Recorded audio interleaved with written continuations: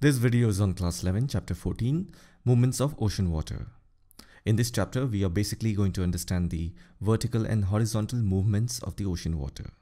Then we will read about waves, tides, and ocean currents. Then we will further see what are the different types, their importance, their effects, and how they are formed. So we will cover all these things one by one in a comprehensive manner. Alright then, with no further ado, let's begin. We all know that the ocean water is never still. It keeps moving here and there. If you look at the world map, all the five oceans, they all run into each other, meaning they are interconnected. For education purpose, we have named them as Pacific, Atlantic, Indian, Arctic and Antarctic Ocean. Otherwise, the Earth's oceans are all connected to one another and they together form 70% of Earth's surface. And if you look at the movement of the ocean water, there are two ways the ocean water moves. One is horizontal motion and the other one is vertical motion. When we say horizontal motion, we are talking about the ocean currents and waves which are basically parallel to the ground or running in the same direction. And the vertical motion refers to the tides. Tides are the rise and fall of sea level. This is a vertical motion. And this happens due to the attraction of the sun and the moon. Now before we move further, let's look at some factors that influences the movement of ocean water. Actually, this is like the first thing that you will find in this chapter. So what I have done is I have made a separate video on this topic. It's called factors affecting the movement of ocean water. I'll put the video link in the description. Make sure you watch it. Let's look at the first topic of this chapter, waves. I hope you all know what is a wave. Basically, a wave is a to and fro motion, meaning back and forth around a reference point, wherein the energy is moving away from the source in the form of a disturbance. Similarly, when you look at the waves in the ocean, they are actually the energy and not the water. And through this energy, water particles travel. Now the question is what creates this energy? It's the wind that provides energy. That's why we say wind causes waves to travel in the ocean. If you have to remember this in a simple way, then think of it this way. There are three elements, wind, energy and water. The wind comes, creates an energy and this energy is in the form of a wave. And through this energy, water particles travel. And finally, the energy reaches the shoreline and that's how you enjoy beautiful moments of the seawater hitting your feet. Now I'll explain why does the ocean have waves. First thing you need to understand is that wind pushes the water body when wind touches the water surface, it creates a wave. And this wave can travel thousands of kilometers in the ocean. And the second thing you need to understand is that gravity also plays an important role. Gravity pulls the water molecules of the ocean downward. When there is a friction between wind and the surface water, it creates a natural disturbance. That's how wave energy is created. Now this wave has a crest. You can also call it as the head portion of the wave. The wave energy always moves in a circular motion. Now when water travels because of this energy, the actual motion of the water is also circular. That means the water goes up and down and this happens in a circular motion. As I said this is the crest. It is a point on the wave where the water has the maximum upward displacement and this happens because of the wind. Likewise there is something called trough. It is the lowest point of the water displacement and it exists because of the gravity.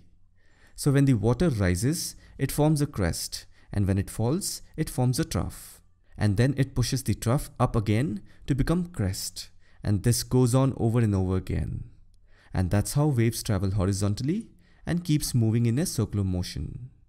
Let's look at this box and quickly cover this topic, characteristics of waves. I'm going to simply read all these small definitions that is given in this box and simultaneously I'll show you the illustration. This way you'll have the visual reference along with text. The first one is wave crest and trough. The highest and lowest points of a wave are called the crest and trough. Let me first draw a straight line which represents the sea level. Now this is the crest point and this is the trough point. The second one is wave height. It is the vertical distance from the bottom of a trough to the top of a crest of a wave. This line that you see from the trough which goes all the way up and touches the crest. The third one is wave amplitude. It is one half of the wave height. When we say one half of the wave height, first of all from here to here this is one complete cycle of a wave. and one half of the wave height means the height between the sea level and the crest, but it is also the depth between the sea level and the trough. So don't forget this point. Wave amplitude is both upward as well as downward. The fourth one is wave period. It is merely the time interval between two successive wave crest or trough as they pass a fixed point. In simple words, it's the time difference, meaning how much time a wave takes to form the second crest or the second trough. It is simply that time interval and nothing else. The fifth one is wavelength.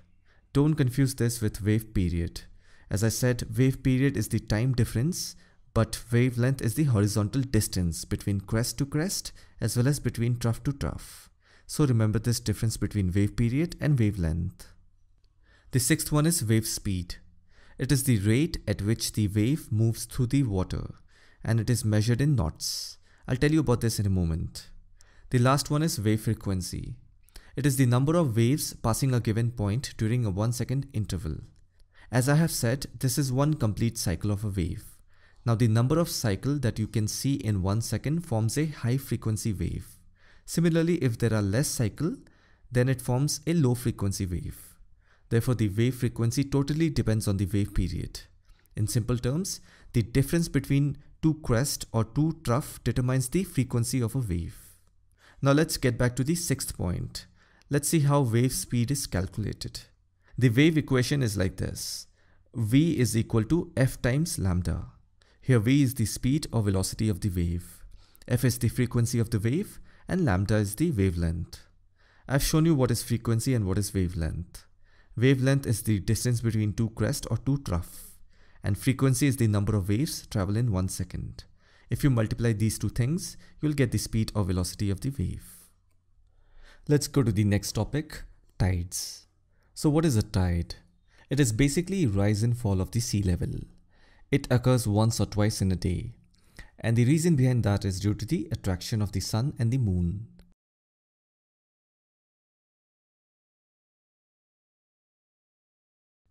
Now we go to the next topic, types of tide. Now tides are grouped in two categories. One is based on the physical pattern such as frequency, direction and movement. And the second one is based on the position of the sun, moon and the earth, which we have covered moments back, but again we'll see it.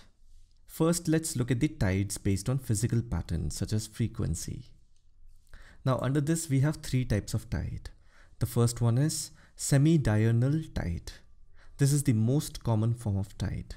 It has two high and two low tide each day and they are of the same height. The second one is diurnal tide.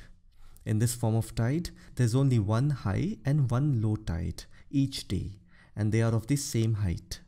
So in semi-diurnal tide, there are two high and two low tide each day, whereas in diurnal tide, there is only one high and one low tide every day. And the third one is mixed tide. By the name mixed, you can figure out that there has to be some variation in terms of height. Now these tides generally may have characteristics of both diurnal and semi-diurnal tides. You'll find most of it occur along the west coast of North America and on many islands of Pacific Ocean. So these were the three types of tide. Now we will look at tides based on the positions of the sun, moon and the earth. As we have already covered this topic, we will run it again. The position of the sun and the moon matters a lot in the formation of tides on earth. The gravitational pull of the moon and the earth acts heavily on the ocean water and that creates a bulge in the ocean and that's how tides are formed. Now under this category there are two types of tide. The first one is spring tides. Now this type of tide occurs when the sun, the moon and the earth are in a straight line. If you have imagined this picture, then you are half correct.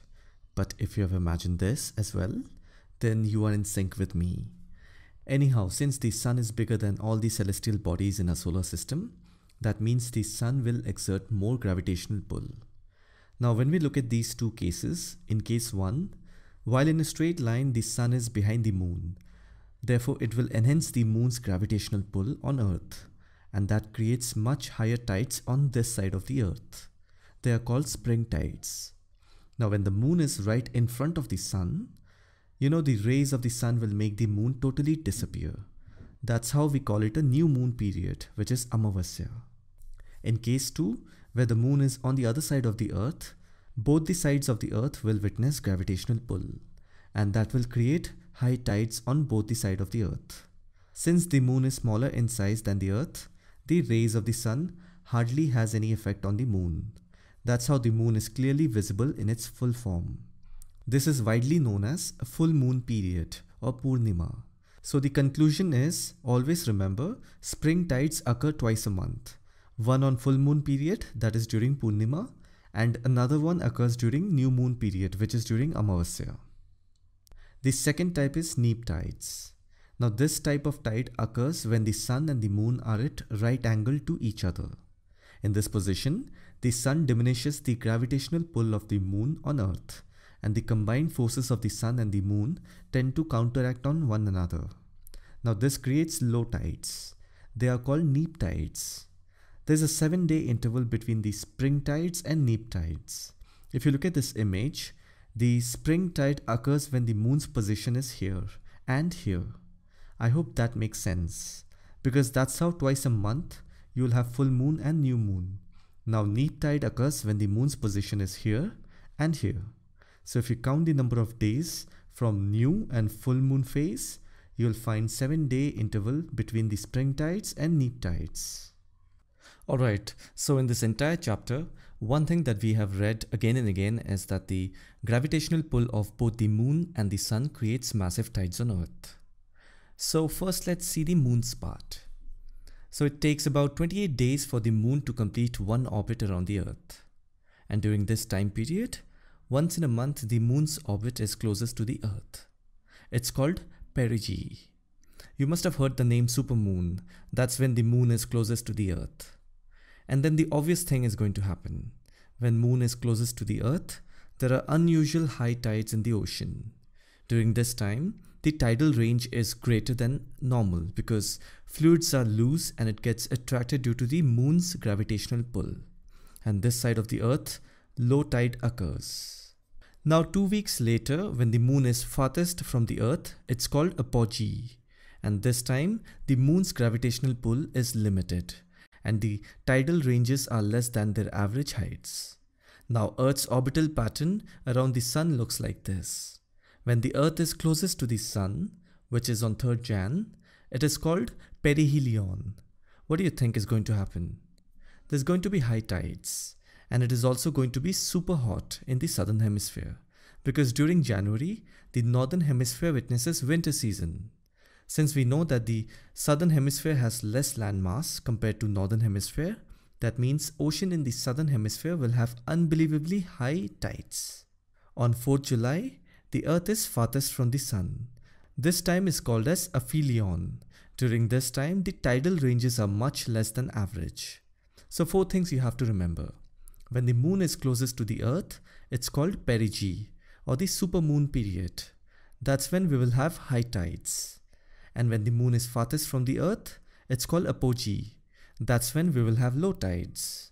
When the earth is closest to the sun, it is called perihelion that's when we will have high tides. And when the earth is farthest from the sun, it's called aphelion.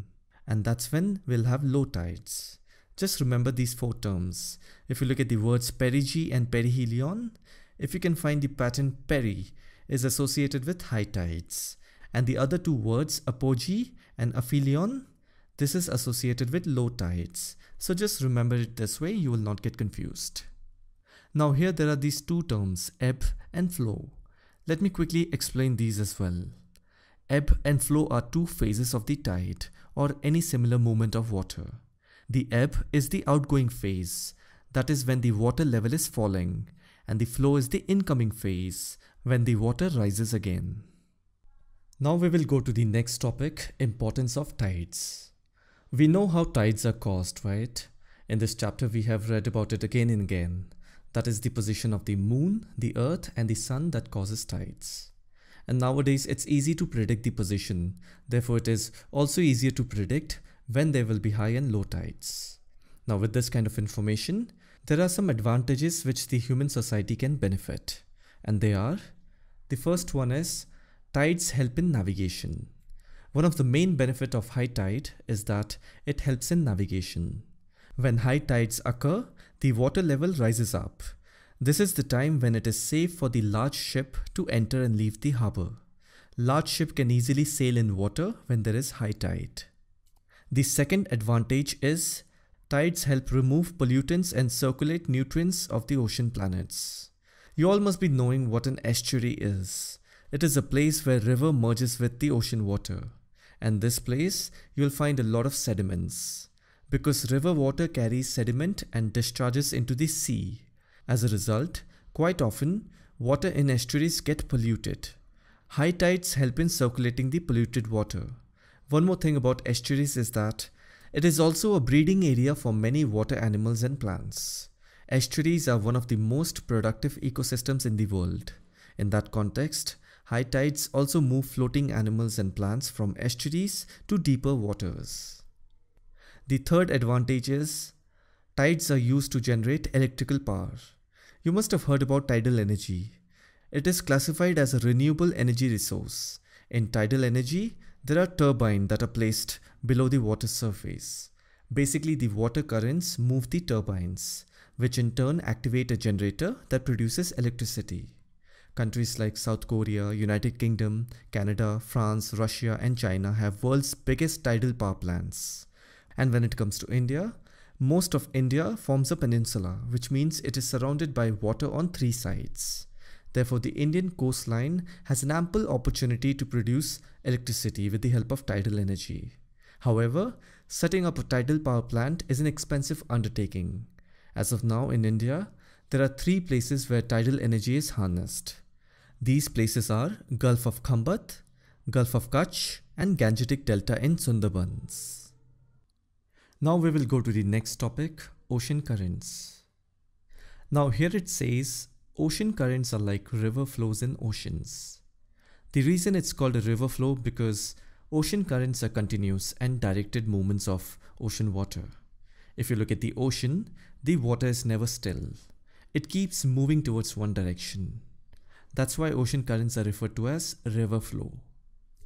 Now we will see what are the forces that influences the ocean currents to flow. I've made a separate video on it. I want you to watch that and it will tell you what you need to know.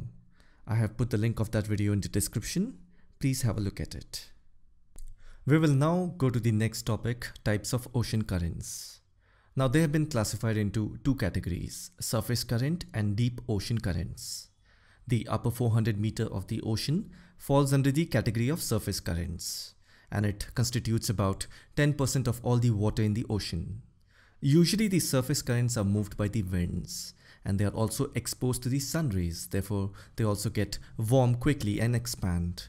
Generally, it is the equator that receives maximum amount of sun rays.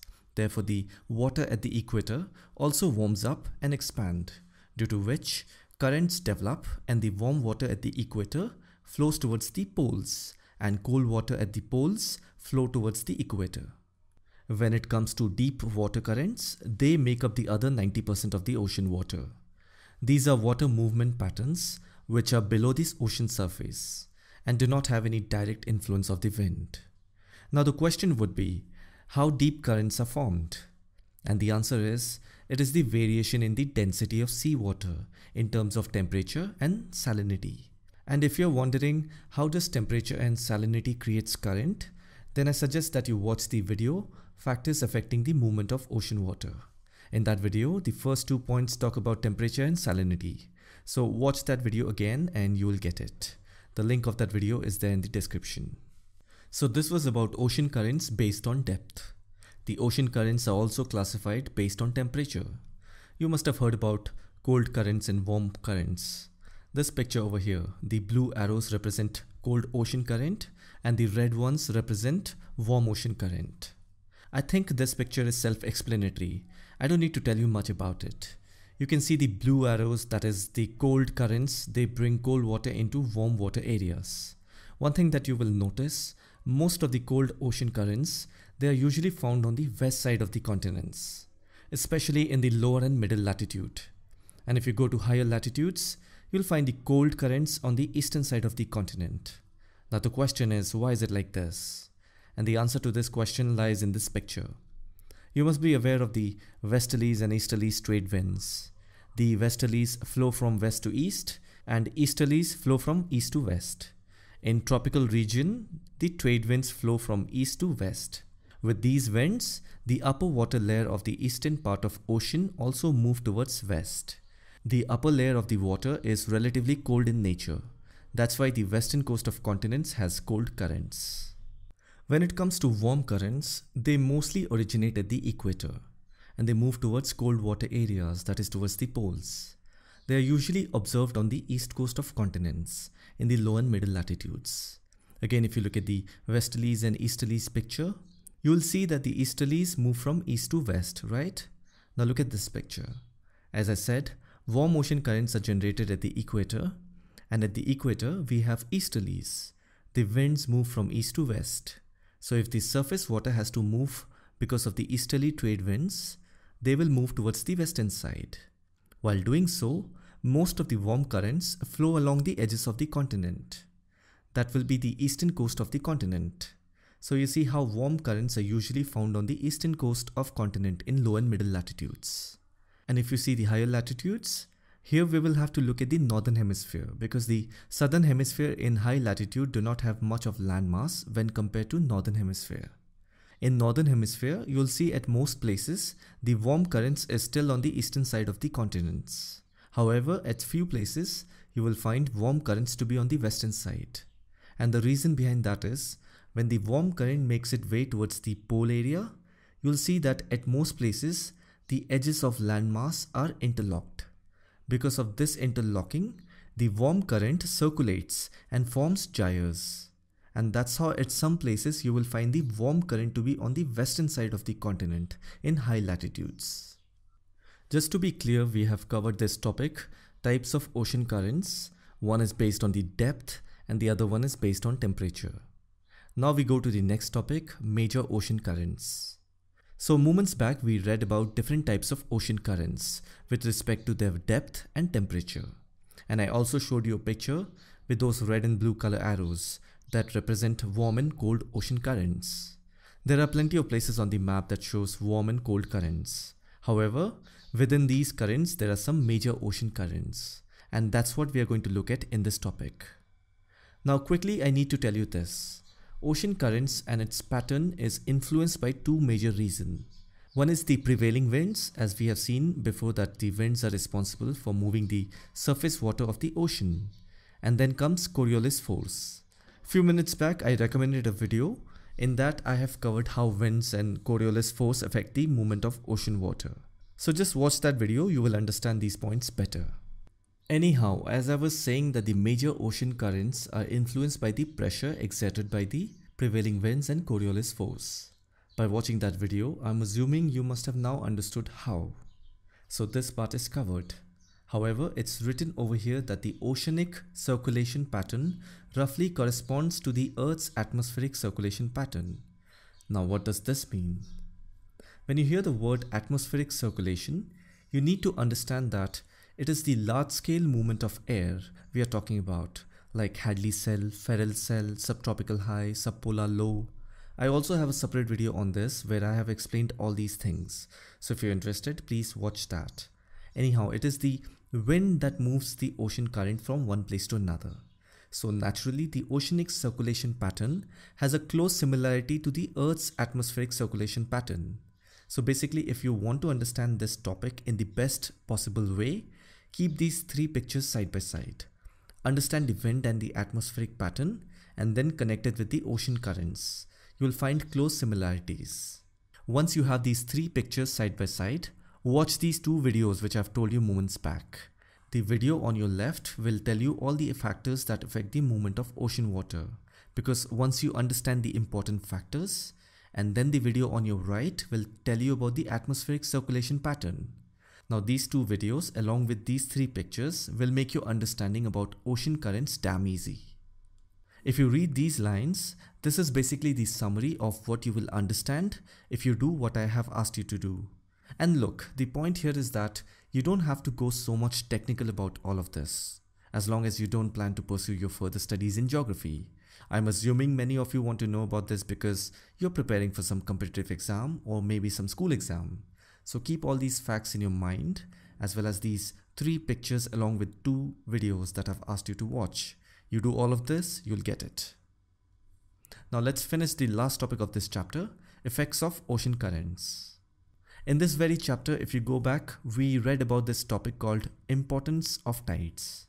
Just go back into this video, you will recollect that I have covered three major points as to how the tides are important to the human society. But in this topic, we are talking about the effects of ocean currents. Look, the basic difference between a tide and a current is that a tide is the rise and fall of ocean water. And we know how the rise and fall of the ocean water occur.